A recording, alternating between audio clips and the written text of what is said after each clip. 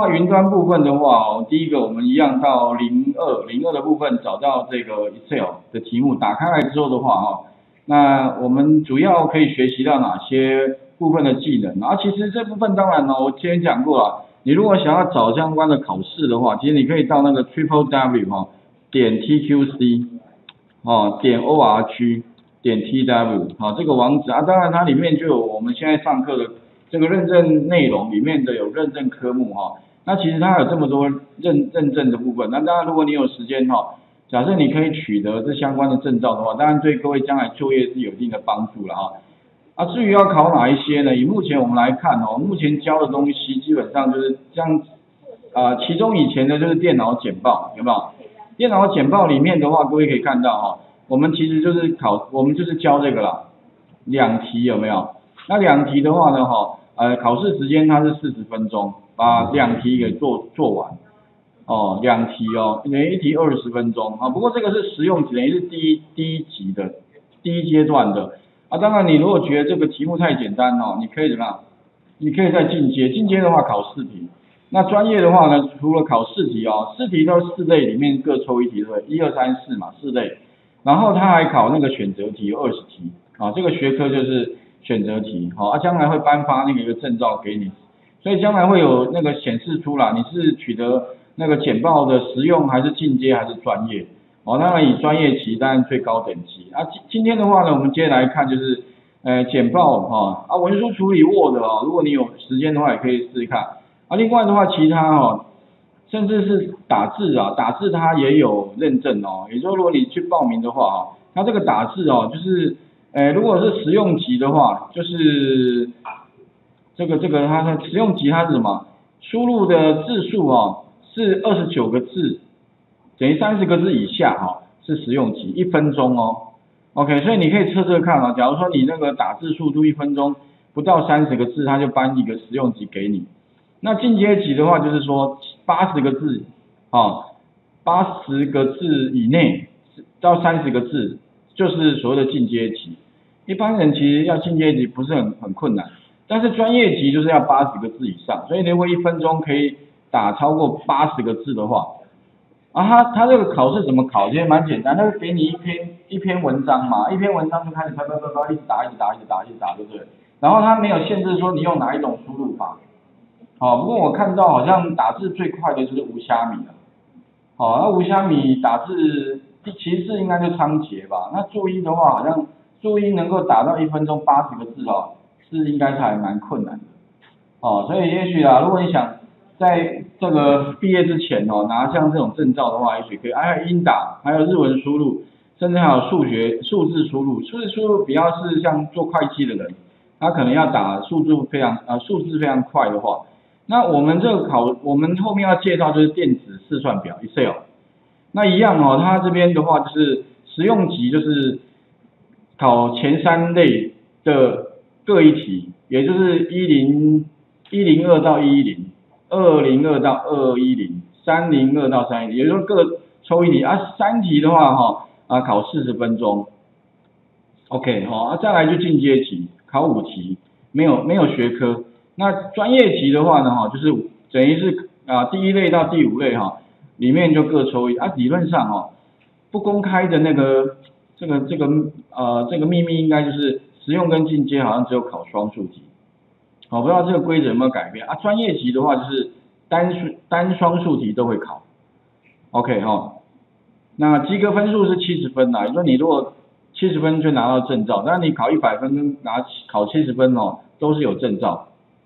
不过你呢如果考六十九分那就没有了，OK 哈，如果考六十九分就会这个哈，应该是是会啊。非常难过吧，啊，差一分而已，OK。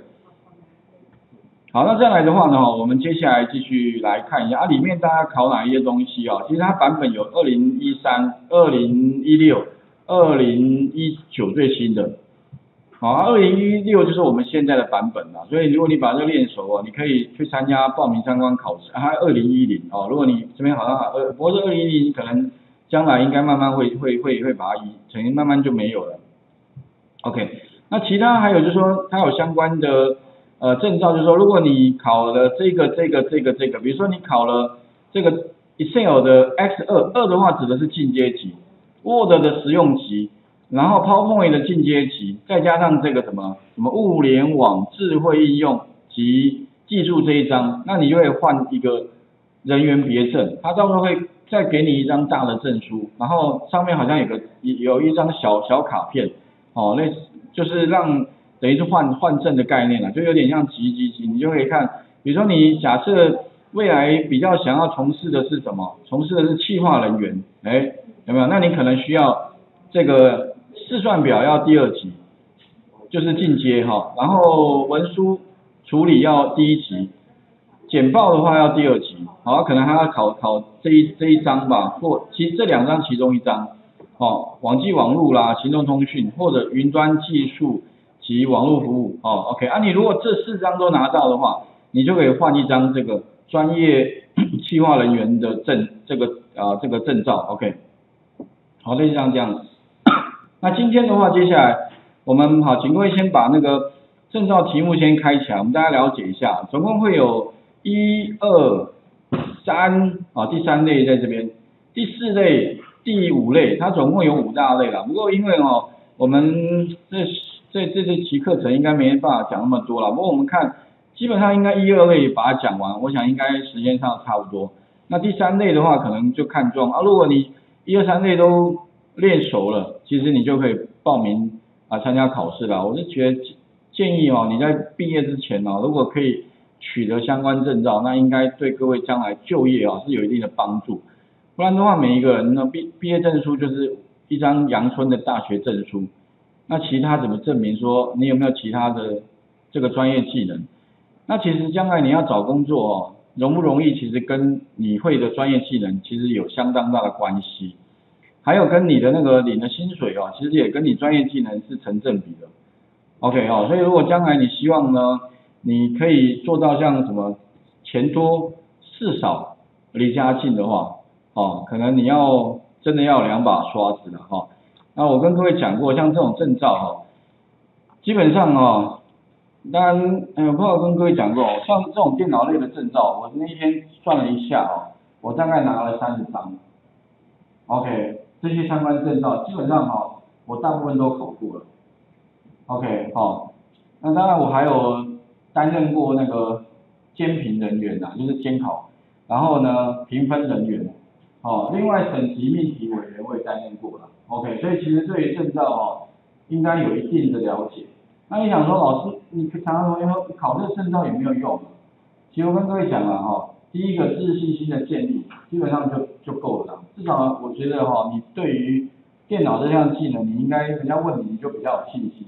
其实面试的时候有没有信心也很重要哦。OK，面试的时候我觉得你要养成那个让大家感觉哇，你这一问哦，马上就充满了希望，充满了朝气，然后主动呢可以提问题哦，那完全感觉是不一样的。OK 哈，所以请各位第一步哦，待会先稍微看一下哈啊，总共呢这两类里面到底可以学到哪一些东西？第一类的话就是基本函数啊，跟什么格式设定能力。基本函数哦，简单拿一些函数哦，像基本像这个这个有提到 sum 加总，average 平均，有没有 average a，average if 等等的，这相关的这些都简单的基本函数哈。那第二这个底下还有格式的设定能力包括哪一些？像储存格修改啦哈，样式啦等等的这些你会不会？好啊，第二类的话就是什么？资料编修跟列印能力，哎这边多一个列列印哈，有没有办法？去做一些资料的修改，OK，哦，然后等等的相关的啊，第三类的话，基本上就就是统计图表，哦，特别注意哦，现在还蛮重要的，因为老板最后是要看那个最后的统计的图表，也就是你要做报表的话，你有办法做这这一部分，我觉得是还蛮重要的。那怎么去使用像图表精灵啊等等的，甚至是枢纽分析表啊，这你有没有办法做啊？其他像进阶有啊，进阶资料处理分析能力，像什么？呃，排序、筛选、表单、小记这相关的哈啊，还有像第五类的话，跟进阶函数、阵列设定、进阶的列印能力，这有没有办法做到？OK，好，那今天的话，也许我们就呃先来看一下哈，这个第一零二题，所以待会请各位一先稍微把题目打开，二的话呢，把这个练习题下载，然后并且哈，看一下题目，然后呢把练习题的一零二题打开，啊这边会有个 EX D 一零一嘛，所以将来如果存档就 EXA，然后后面加一零二就可以了，啊 EXA 就就就跟之前一样的方式哈。那首先打开之后的话呢，这一题哈，它这个是高尔夫球杆的那个高尔夫球的那个打的杆数的那个这个这个统计，哦，这个是历年来应该是全就是冠军哦，哎这个人哦，冠军的人应该也有应该有老虎五只吧，哦，OK 好等等的这边。然后里面的话十十八洞它打几杆？哦啊有没有低于标准杆跟高于标准杆几杆？它的一个排名。然后三十六洞哦打几杆？然后五十四跟七十二。可是问题哦，这个资料看起来好像有一点太黑白了。然后格式设定上面好像感觉就是太阳春了。那这一题基本上就是希望哦你把它变得彩色的。OK 看起来呢哦是。更加的漂亮哈，而且嗯蛮容易一下就知道说到底哦你要表现，所以你会发现哦这个是最后完成，它是黑白的啊，那将来我们就按部就班分别完成。另外的话，它这边题目哈还有做一个题目的说明啊，这有个意境哦，这意境就是这个什么长胜高尔夫球场教练哦想分析从那个一九三四年到二零零九年这个美国的高尔夫名人赛哈。就是第一名的成绩啊，那种穿绿夹克啊，OK 哈，然后四天的比赛中哦，前三天的成绩啊，要用这个来表格式化哦，那蓝色的直条越多，表示杆数越多，那最后一天的成总成绩高于标准杆，平均标准杆就零嘛哈，低于标准杆，然后用什么？用这个哎这个符号来表示，因为有时候我们看数字哦。不太能够马上一眼就知道到底是多还是少，但是用图的话呢，就会非常的直觉。所以待会的话呢，哈，我们就把那个题目打开，然后总共会有一到六七八题哈，八个问题，分别呢把它做完，那把它存档就可以。啊，存档，存档特别注意了哈，其实当然考试它要做两个动作，不过我们练习的话，储存这个就可以。这个的话这边 EXA，你把它存成一零零一，把它改成一零二好了。好，这边把它一零二存档，OK，好，那请各位呢先把那个题目打开，然后稍微把这个一到八题里面到底要做什么分别了解。那我们再按部就班的把这些题目做完，哦，把这个他给我们的这个资料哦，由黑白的变彩色的，由看起来非常阳春，然后呃变得呢哈，至少呢上面是有图案哦，比如说有一些。多跟少不不一定不需要说一定要看数字就可以知道那个上面杆数的多跟少，然后谁的成绩好跟坏，就是一眼就可以看出来。哦，这样的话呢，将来哦你把这个结果做出来哦，给你的老板看，老板觉得啊好清楚哦，不要说你给他一个很阳春的东西要看半天。哦，那那比如说你要给教练啊，你也许是教教练的助理，OK，那他做他可能看这个哇，你这这资料怎么看起来这个阳春不知道重点在哪里？那如果你希望他看起来一目了然的话，哎，可能你需要做一点颜色的设定。另外的话呢，哈，你需要把本来是数字的部分呢，用图来表示。所以现在哦，有这个有一个呃趋势，就是说哦。所有的软体哦，最后就是用视觉化，也就是将来给一个图就好了，哦，不是给一个什么，给一个数字，一堆数字看得很辛苦嘛，OK，所以请各位试一下哈。